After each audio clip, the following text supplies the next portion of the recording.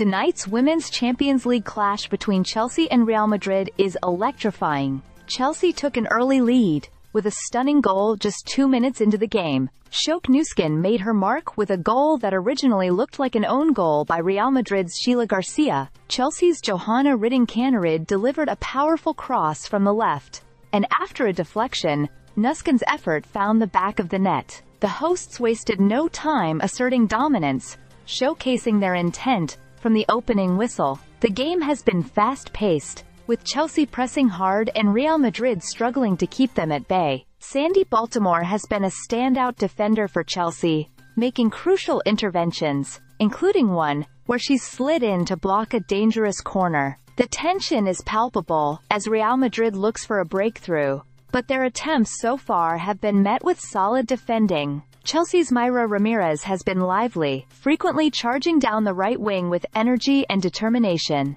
However, Real Madrid's backline, particularly Maria Mendez, has been equally resilient. Despite Ramirez's efforts, Madrid has managed to close down spaces effectively, making it tough for Chelsea to extend their lead. The midfield battle has been fierce, with Chelsea maintaining control thanks to players like Lauren James and Wieke Kaptein. Real Madrid, though, are no strangers to attacking rotations, as noted by former England striker Natasha Dowie, who praised their tactical fluidity. In possession, Madrid shows great movement in the final third, but Chelsea's defense, led by captain Millie Bright, is keeping them out of scoring positions.